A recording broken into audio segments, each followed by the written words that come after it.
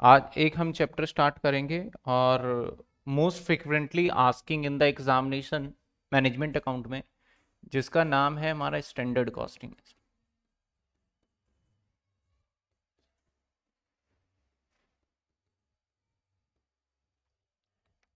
पहले हम समझ लेते हैं सर स्टैंडर्ड का मतलब क्या है?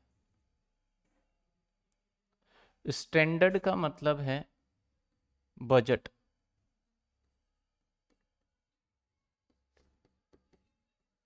सर, और थोड़ा डिटेल में जाते हैं इसके। बजट का मतलब है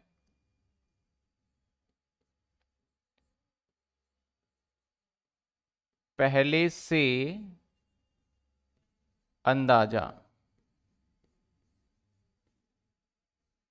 पहले से अंदाज़ा।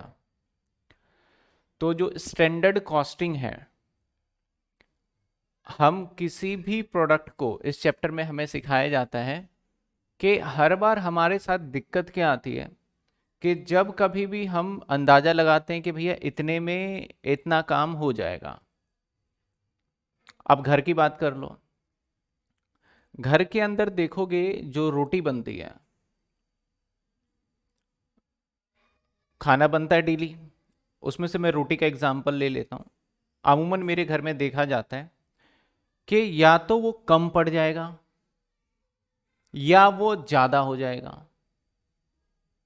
बहुत रेयर केस होता है कि बोलते हैं, आज बराबर हो गया सारा, कुछ नहीं बचा आज। तो हम जो काम स्टार्ट करते हैं, वो दिमाग में लेके चलते कि भैया, दस रोटी बनानी है। लेकिन उसका यूसेज का नहीं पता, ग्यारह भी हो जाए और आठ भी हो। तो स्टैंडर्ड का मतलब होता है, काम करने से पहले जो हम सोच के बैठते हैं कि इतना खर्चा होगा, उसे बोला जाता है स्टैंडर्ड तो यानी सर, हमें हर बार क्या सोचना पड़ता है? जी हाँ हमें काम करने से पहले हमेशा सोचना पड़ता है कि कितना खर्चा होगा। जब कॉस्टिंग की बात करें तो कॉस्टिंग के अंदर जब आता है तो हमें यह सिखाया जाता है कि सर, आप मैक्सिमम आउटपुट निकालिए। और मिनिमम रिसोर्स को यूज़ करते हुए। कॉस्टिंग यही है कि आप किसी प्रोडक्ट के कॉस्ट को इतना मिनिमाइज कर दीजिए, इतना कम कर दीजिए कि हम मार्केट में कॉम्पीट कर पाए। अब इस चैप्टर को बनाने का, इस चैप्टर को पढ़ने का मेन मकसद यही है सपोज़ करो कि मुझे कोई प्रोडक्ट बनाना है। अब एक प्रोडक्ट मैंने सोचा था कि भैया, हम 20 यूनिट बनाएँगे। या हम घर का एग्ज़ाम्पल ले लेते हैं। आटा गूथा। रोटी बनाने से पहले आटे को गीला करते हैं। उस टाइम पे अंदाज़ा होती है, सबसे पूछ भी लेते हैं, कितने कितने रोटी खाओगे। उसी के हिसाब से आटे को गीला किया जाता है। हम पूछ लेते हैं कि भैया, तुम चार खाओगे, तुम पाँच खाओगे, तुम छह खाओगे। तो मैंने 20 रोटी के लिए तैयार किया हिसाब किताब।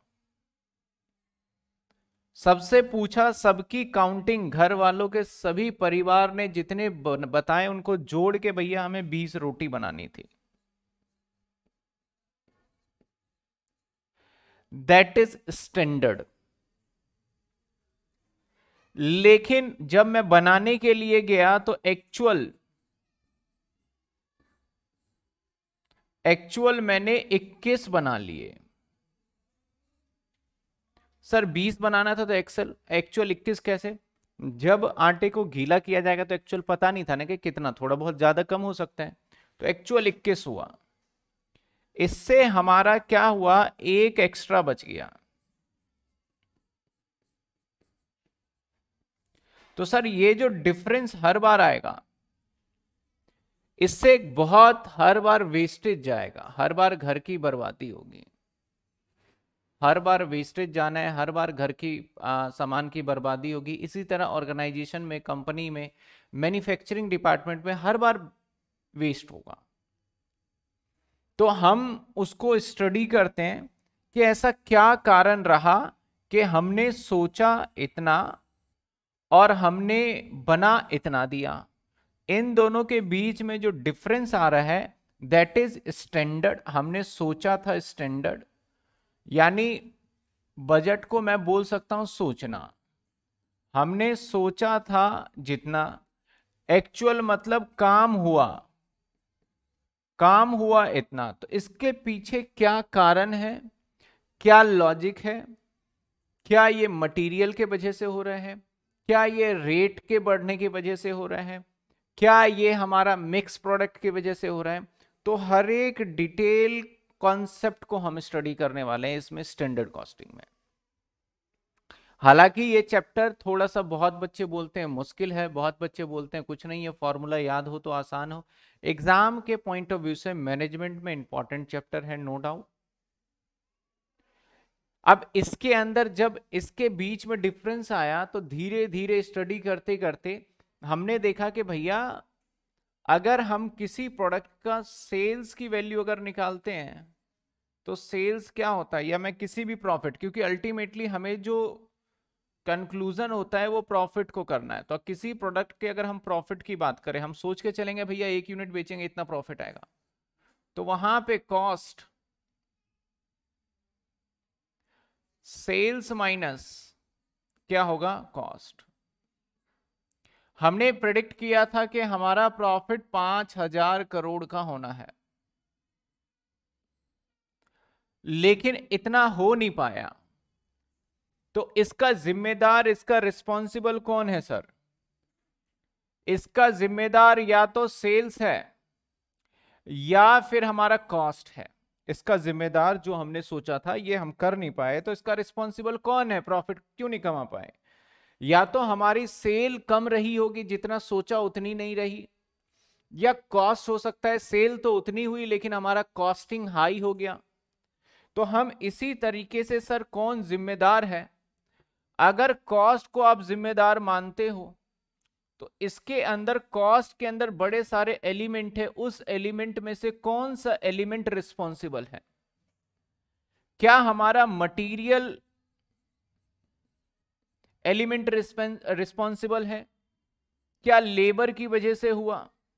या फिर और अदर खर्चे जिसे ओवरहेड बोलते हैं? तो अगर मटेरियल की वजह से हमारा प्रॉफिट अचीव नहीं हो पाया है तो हमें चेक करना चाहिए कि गलती कहाँ है। सेल्स में है तो सेल्स को देखेंगे, लेकिन जब कॉस्ट को देखने जाएँगे तो कॉस्ट के अंदर हमारे या तो मटेरियल ज़्यादा यूज़ हो गया या मटेरियल का प्राइस बढ़ गया, ये रीजन हो सकता है। लेबर अननेसेसरी, उन्होंने टाइम खाली बेकार किया या फिर लेबर का वेज रेट बढ़ गया होगा। ओवरहेड और अदर जो खर्चे हैं, उसके अंदर भी सेम हो सकता है कि हमने ध्यान नहीं दिया वेस्टेज हो गया, क्या हुआ? तो ये इसमें से कौन सा रिस्पॉन्सिबल है? सर, अगर आपको पता चल जाता है कौन रिस्पॉन्सिबल है तो मटेरियल के अंदर भी दो लोग रिस्पॉन्सिबल हो सकते हैं, दो हमारे कंपोनेंट्स हो सकते हैं। या तो प्राइस के वजह से हो सकता है, या फिर हमारा यूज़ के वजह से हो सकता है। या तो प्राइस के वजह से हो सकता है सर, या फिर हमारा यूज़ के वजह से हो सकता है। अगर हम प्राइस की बात करें या यूज़ की बात करें, प्राइस की बात है तो फिर ठीक है। यूज़ की बात करें तो अब यहाँ पे यूसेज की बात करें तो हमारे और भी दो कंपोनेंट्स आ जाते हैं। सपोज़ करो अभी हम सिंपल सिंपल यहाँ तक का टॉपिक हम समझ रहे हैं। क्या पता हो सकता है ए बी और सी मान लो आपका एक बर्गर बनाने के लिए हमें एक कंपोनेंट नहीं चाहिए। कुछ प्रोडक्ट ऐसा होता है जो एक ही कंपोनेंट में बन जाता है। जैसे रोटी। आटा चाहिए, बात खत्म। लेकिन अगर मैं पिज्जा की बात करूँ तो एक कंपोनेंट नहीं चाहिए। काफ़ी सारे उसके अंदर मटेरियल चाहिए। तो सर पिज्जा की अगर हम बात करें तो ए लगता है हमारा एक किलो। बी लगता है हमारा दो किलो, यानी ए हमने मान लिया ब्रेड लग रहा है बी हमने मान लिया कि इसके अंदर कैप्सिकम या फिर ऑनियन वगैरह कुछ भी लग रहा है। और अगर सी मान लेते हैं हम आधा किलो, ये लगना चाहिए। तो हमें ये एक तरीके से तीनों चीज़ें लगा देते हैं, साढ़े तीन किलो, तब हमें जाके पता चल पाता है। साढ़े तीन किलो, तब जाके हमें पता चल पाता है कि कितना खर्चा क्या हुआ है। अब इसके अंदर से या तो ए जिम्मेदार होगा या बी जिम्मेदार होगा या सी जिम्मेदार होगा मेरे प्रॉफिट को नहीं अचीव करने में। तो यानी इसे बोला जाता है मिक्स तो सर मिक्स के अंदर भी हम सभी को कंपेयर करेंगे। जिसको हम मटेरियल मिक्स या मटेरियल ईल्ड वेरिएंस बोलते हैं। तो सर, इसके अंदर देख रहे हो आप कितना डिटेल में हम डिस्कशन करने जा रहे हैं। सेम लेबर के अंदर भी काफ़ी सारे कंपोनेंट्स हो सकते हैं। लेबर का रेट हो सकता है रिस्पॉन्सिबल, लेबर का आर हो सकता है रिस्पॉन्सिबल। ओवर हेड में भी रेट रिस्पॉन्सिबल हो सकता है। ओवरहेड हमारा एक्सपेंस रिस्पॉन्सिबल हो सकता है। तो इन्हीं सभी को डिटेल में डिस्कस करेंगे। बाकी इस चैप्टर के अंदर सबसे ज़्यादा एग्ज़ाम में पूछे जाने वाला सवाल जो है वो मटेरियल जो कि दो क्लास में हमारा खत्म हो जाना है, आज और अगली क्लास के अंदर। सबसे ज़्यादा पूछे जाने वाला एग्ज़ाम में मटेरियल और मटेरियल ही आता है मैक्सिमम करेंगे हम सारा, लेकिन मटेरियल हमारा आता है तो हम सारा करेंगे, लेकिन मैं पहले बता दूँ कि आपको किस तरीके से तैयारी करनी है। तो यानी सर, मैं एक सिंपल सा सवाल पूछता हूँ। स्टैंडर्ड स्टैंडर्ड मेरे हज़ार यूनिट खर्च हुए एक्चुअल मेरे 1200 लग गए अब बताइए जो हमारा स्टैंडर्ड और एक्चुअल को कंपेयर करें हमने सोचा था कि हज़ार किलो किसी सामान लगेगा लेकिन लग गए 1200 तो हमने 200 एक्स्ट्रा लगा दिया यानी स्टैंडर्ड से और एक्चुअल को कंपेयर करें तो हमारे फेवर में है या अनफेवर में है? एक चीज़ बताइए। स्टैंडर्ड और एक्चुअल तो यहाँ पे आप बोलोगे, सर, यहाँ पे हमारे फेवर में नहीं रहा, हमारी लापरवाही के वजह से 200 तो इसको हम ए से डिनोट करेंगे that is ad adverse same अगर मैं कहूँ कि मैंने सोचा था हज़ार, लेकिन हमने 800 में ही निपटा दिया तो 200 जो बच गए तो ये हमारे फेवरेबल में है। तो यानी हमारी सोच से और स्टैंडर्ड की सोच से, हमारी स्टैंडर्ड की सोच से एक्चुअल अगर एक्चुअल हमारी सोच से कम है तो हमारे फेवरेबल में बात करेंगे, उसे एफ़ से डिनोट करेंगे। और ज़्यादा है हमसे, हमारी सोच से ज़्यादा खर्चा हो गया, इसे एडवर्स या फिर आपका नेगेटिव में हम बात करेंगे।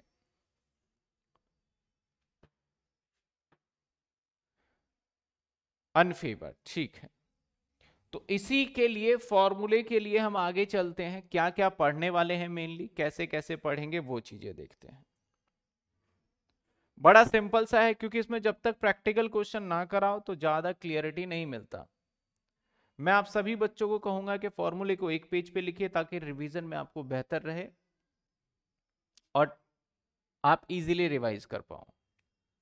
तो अगर मैं फॉर्मूले की बात करूँ तो material price variance material cost variance की हम बात करते हैं एक एक करके सीखते जाएँगे फॉर्मूला बाद में समझेंगे, पहले हम प्रैक्टिकल कर लेंगे।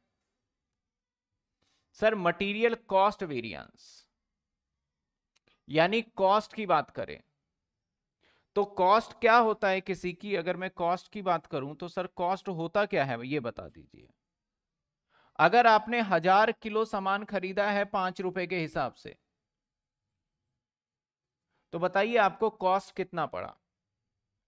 हज़ार किलो आपने सामान खरीदा है पाँच रुपए के हिसाब से तो आपको उस यूनिट का कॉस्ट कितना पड़ा? तो जवाब है सर, उस यूनिट का कॉस्ट हमें पड़ा कितने का? सर, हज़ार किलो पाँच के हिसाब से खरीदा है तो पाँच हज़ार। ये आपका स्टैंडर्ड है कि भैया आपको हज़ार किलो खरीदते और आपका कीमत मार्केट में ये रहता पाँच रुपए। लेकिन एक्चुअल ऐसा नहीं हुआ। एक्चुअल ये हुआ कि आपने 950 किलो खरीदे, लेकिन जो रेट था वो मिला मुझे सात रुपए के हिसाब से। जो रेट मिला मुझे सात रुपए के हिसाब से। या मैं सिंपल सा अमाउंट ले लेता हूँ। तो बताइए आपका कॉस्ट क्या पड़ा एक्चुअल में? आपने सोचा था पाँच रुपए के हिसाब से, लेकिन एक्चुअल में कॉस्ट कितने की आई आपकी? सात रुपए के हिसाब से। एक्चुअल में कॉस्ट कितने की आई आपकी? सात रुपए के हिसाब से। तो आंसर हो, आ गया सर, साक्षी ने जवाब दे दिया, दीपक ने भी जवाब दे दिया, छियासठ पचास का। छियासठ पचास का। अब हम, अगर हम मटेरियल कॉस्ट वेरियंसेस यहाँ पे वर्ड यूज़ है वेरियंस का मतलब changes so sir material price में अगर चेंजेस की बात करें तो भैया लगना था पाँच हज़ार और एक्चुअल लग गया तो इसका मतलब जो मेरा यहाँ पे आ गया, सोलह सो पचास ये हमारे फेवर की बात नहीं कर रहा, ये हमारे लिए एडवर्स माना जाएगा। तो यानी मटेरियल यूसेज कैसे निकालेंगे आप? दैट इज़ स्टैंडर्ड था तो ये है स्टैंडर्ड क्वांटिटी ये है स्टैंडर्ड प्राइस तो स्टैंडर्ड क्वांटिटी को और स्टैंडर्ड प्राइस को आप मल्टीप्लाई करेंगे तो एक स्टैंडर्ड कॉस्ट आ जाएगा। फिर है ये एक्चुअल क्वांटिटी और ये है एक्चुअल प्राइस तो सर एक्चुअल क्वांटिटी और एक्चुअल प्राइस को मल्टीप्लाई अगर करते हैं तो आपका एक्चुअल कॉस्ट आ जाएगा। तो यानी standard cost minus actual cost तो मैं यहाँ पे कह सकता हूँ इसका एक और फॉर्मूला कि सर एसटीडी कर देता हूँ स्टैंडर्ड कॉस्ट माइनस में एक्चुअल कॉस्ट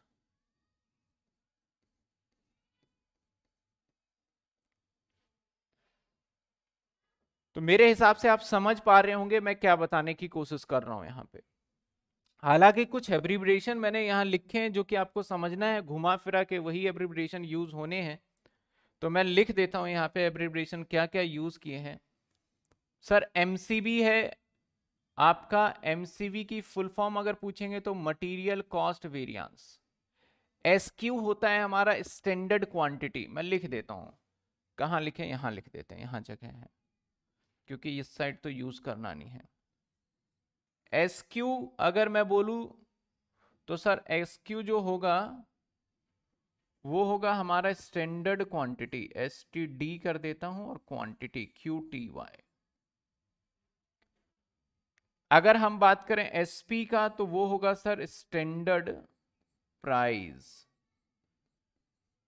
अगर हम बात करें ए क्यू का तो वो होगा हमारा एक्चुअल क्वांटिटी अगर हम बात करें सर एपी का तो वो होगा हमारा एक्चुअल प्राइस अगर हम बात करें एपी का तो वो होगा हमारा एक्चुअल प्राइस जो यूज़ किया है मैंने सवाल में। तो हम पहले एक एक करके धीरे धीरे करके सवाल करेंगे। पहले मैं मटेरियल कॉस्ट वेरिएंस निकालने का एक सवाल देख लेते हैं। मटेरियल कॉस्ट वेरिएंस निकालने का एक सवाल देखते हैं पहले। सवाल को करने का एक स्टैंडर्ड सा फॉर्मेट रखेंगे। सबसे पहले इसके अंदर मेन होता है कि हमें प्रिपेयर कर लेना चाहिए सर क्या प्रिपेयर करना चाहिए सर सबसे पहले हमें इसके अंदर प्रिपेयर कर लेना चाहिए कि हमें डेटा सबसे पहले अरेंज करना सर, डेटा अरेंज करना है सबसे पहले? जी हाँ।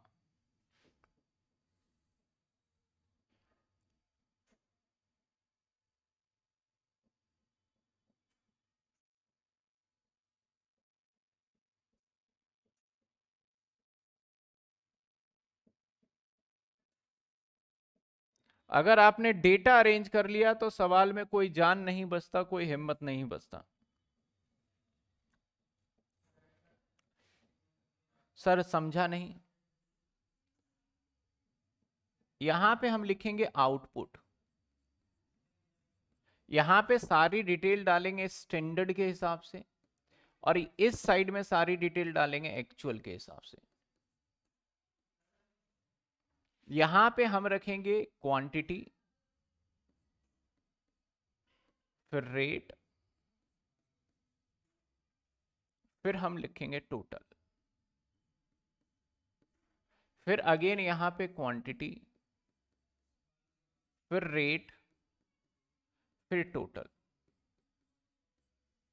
हमें पहले सर डेटा तैयार करना है। अगर हमने डेटा तैयार कर लिया तो हमारा काम खत्म। फिर तो फॉर्मूले लगाने हैं। फॉर्मूले क्या? वो जो हमने समझा है, वही होना है। डेटा कैसे तैयार किया जाएगा? इस सवाल की मदद से देखते हैं। कहता है, the standard cost card show. Standard cost के हिसाब से, the following detail relating the material needed one K G of groundnut oil. एक किलो हमें मटेरियल के लिए लगता है। यहाँ पे कहता है, quantity of groundnut required हमें चाहिए थ्री के जी का। और जो प्राइस है, वो है हमारा ये। तो ये सर स्टैंडर्ड है। कहता है कि हमें रिक्वायरमेंट तीन किलो का है प्रोडक्ट को बनाने के लिए। और हमारा प्राइस है हमारा 2.5 पॉइंट के का। तो सर आपको थ्री के चाहिए। और सर प्राइस है हमारा 2.5 का। तो टोटल कितना लग जाएगा वो हम देखेंगे। टोटल कितना लग जाएगा वो हम देखेंगे, या तो फिर हम इसको एक मिनट इधर कर लेते हैं। मैं दोबारा रिपीट कर दूँ सवाल को, सर कहता है कि relating to material needed produce one K G one के जी को बनाने के लिए ये खर्चा आना तय है। एक किलो बन पाएगा, इसमें जो भी बनेगा। कहता है actual production data produce during the month हमने हज़ार किलो बनाया है। कितने बनाए सर? हज़ार kilo.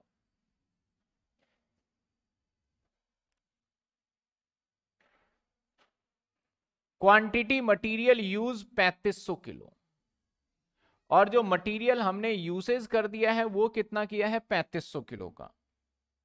तो क्वांटिटी मटेरियल यूज़ की बात करें तो वो कितना था सर? 3500 किलो। ये हमने यूज़ किया सर 3500 किलो का।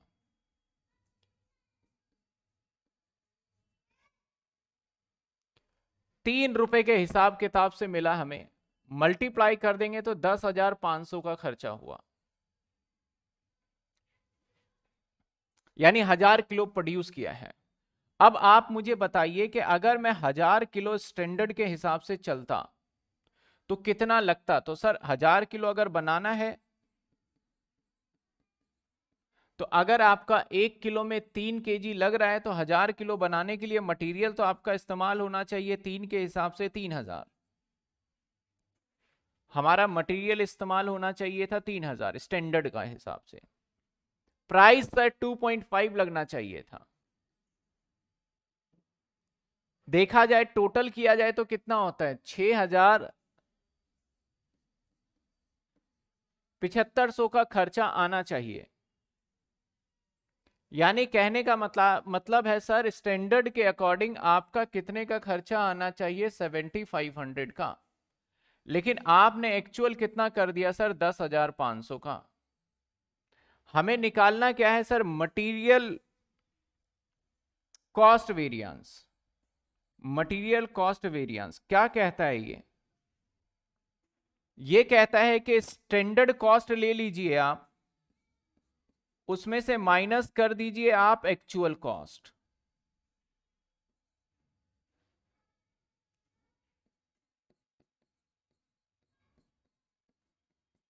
Sir, standard cost क्या है? सर, स्टैंडर्ड कॉस्ट आ गया, हमारा पिछहत्तर सौ रुपए होना चाहिए।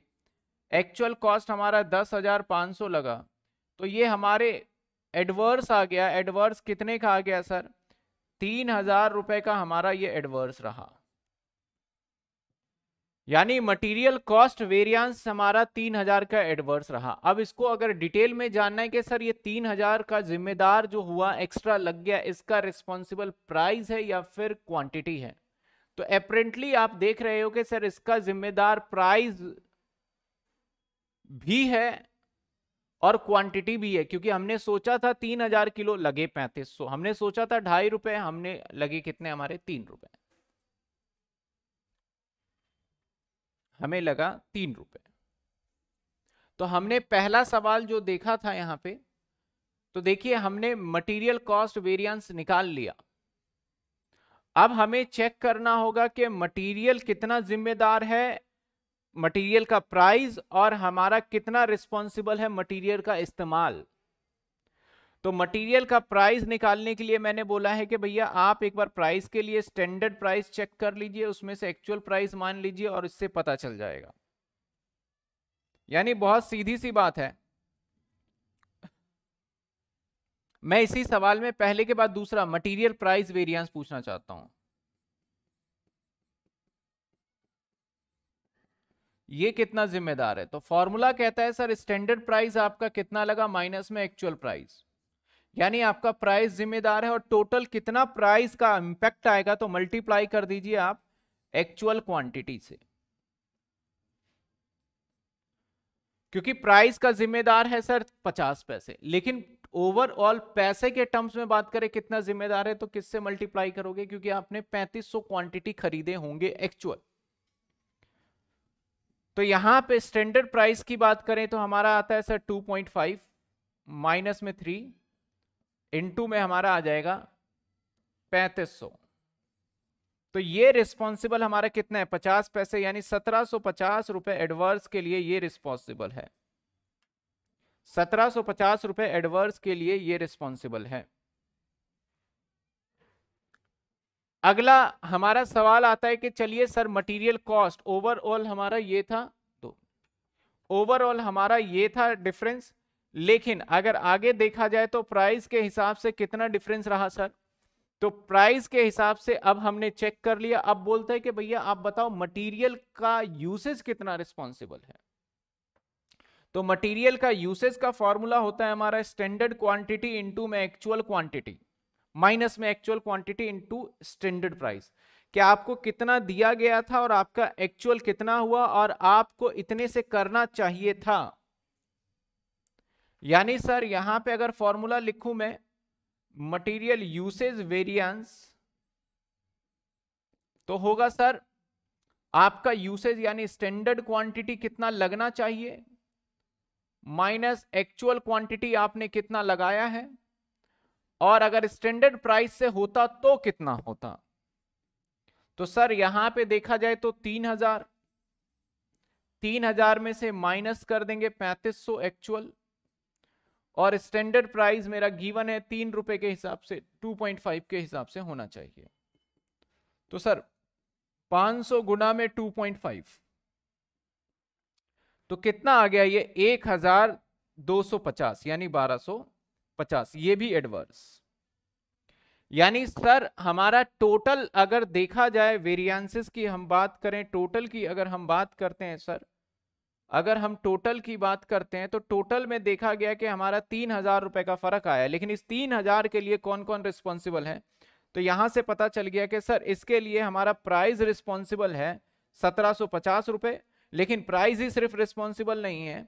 हमने लापरवाही करी है मटेरियल यूसेज में भी, और मटेरियल जो हमारा यूसेज रिस्पॉन्सिबल है, वो सर है हमारा टोटल कितना? 1250 अब इन दोनों को अगर जोड़ दे तो टोटल कितना हो गया? तीन हज़ार रुपए। यानी सर इससे एक बात और सिद्ध हो जाता है। एक बार, बात और प्रूफ हो जाना है इससे, क्या सर? एक बात और प्रूफ हो जाना है कि sir material cost variance is equal to material price variance plus material usage variance अगर इन दोनों को जोड़ दिया जाए तो आपको जो रिज़ल्ट मिलता है वो इन दोनों का जोड़ होता है। हमने क्या करा? पहले सबसे पहले कॉस्ट निकाल लिया तो ये थोड़ा सा डिटेल आंसर नहीं हुआ। अब देख लिया प्राइस कितना रिस्पॉन्सिबल है और कॉस्ट तो ये सवाल एग्ज़ाम में डायरेक्ट डायरेक्ट पूछा जाता है आपसे। आपको इसके लिए फॉर्मूला याद होना चाहिए, या फॉर्मूला आपको समझ में आ गया हो तो बात बन सकती तो इस तरीके से हमारा रहता है ये सारा का सारा पॉइंट बताइए कोई डाउट कोई डाउट है इसमें तो बताइए। आप इसको चेक कर सकते हैं, सर माइनस तीन हज़ार ही आएगा। माइनस तीन हज़ार कैसे आएगा, सर? आप चेक करिए इसको सत्रह सो पचास माइनस का। जिम्मेदार और बारह सो पचास माइनस का, ये जिम्मेदार। अल्टीमेटली तीन हज़ार रुपए हमारा एडवर्स आ गया माइनस का। ये आंसर को चेक करने का एक तरीका है। और भी कुछ सवाल हम करेंगे।